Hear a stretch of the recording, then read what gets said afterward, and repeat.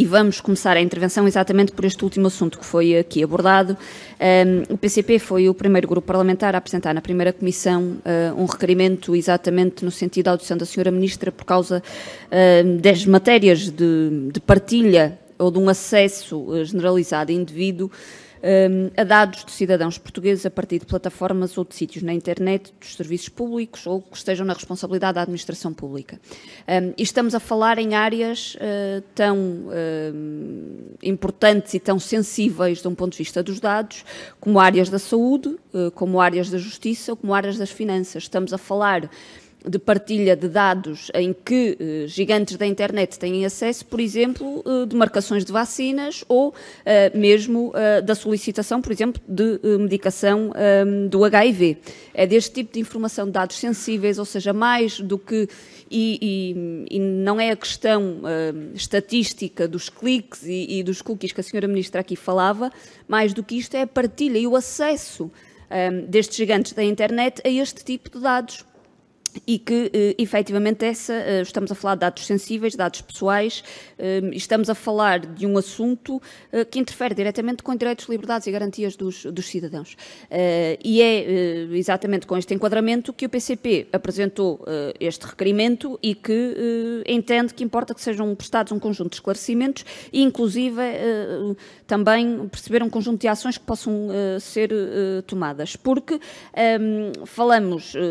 e isto foi a público recentemente por notícias na comunicação social, mas poderíamos até reportar-nos a situações, por exemplo, que o PCP também já colocou, relativamente à própria situação dos censos e da Cloudflare uh, uh, e, da, e da, da, partilha que também foi dada de, dos dados de mais de 6 milhões de portugueses, uh, nomeadamente ao Governo dos Estados Unidos da América, por força também da partilha a que esta mesma empresa está obrigada. Um, e todas estas situações, demos este exemplo concreto do INE, mas também estas questões que aqui falamos, falamos na área da saúde, da justiça e das finanças,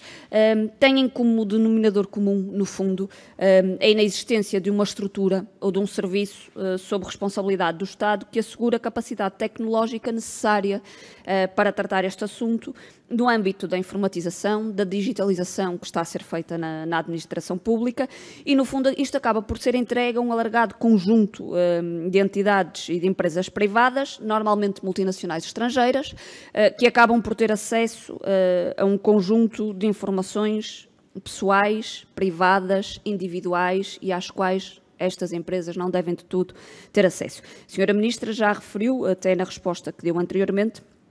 uma das questões centrais, que é, é exatamente a, a possibilidade da existência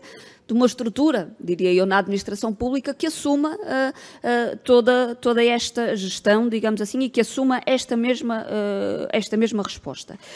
e importava aqui perceber, primeiro, em relação a esta situação, se foram despoletadas algumas ações por parte do Governo para conhecer se há efetivamente dados sensíveis que foram partilhados e aos quais estas empresas tiveram acesso, se, havendo esses dados, se há um conhecimento dessa mesma dimensão, se houve alguma ação que fosse tomada por parte do Governo uh, para que esta situação não continuasse de alguma forma, e também, um, de um ponto de vista de um próprio objetivo do Governo, a senhora Ministra falou disto no âmbito da, da, discussão que está a ser feita na União Europeia, mas nós colocamos da, na discussão que esteja a ser feita no nosso país para as situações no nosso país.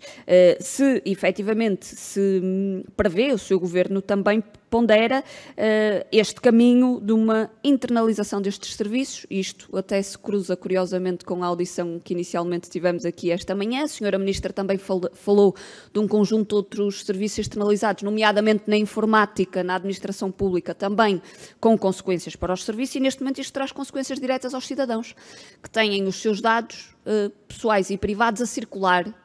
na cloud, eh, na, na nuvem da, da, internet e eh, com gigantes da internet a utilizarem isto para fins comerciais. O que não é de todo uh, aceitável. Por isso era perceber estas duas dimensões, conhecimento, ações em relação a estas situações concretas e medidas para o futuro, nomeadamente com respostas de estruturas ou de um serviço sob responsabilidade uh, do Estado que assegura a capacidade tecnológica necessária à informatização ou digitalização no funcionamento dos serviços públicos, sem que os dados dos cidadãos tenham que andar a circular e a ser entregues a multinacionais estrangeiras que depois lucram com esses mesmos dados, nomeadamente uh, em matérias comerciais sociais.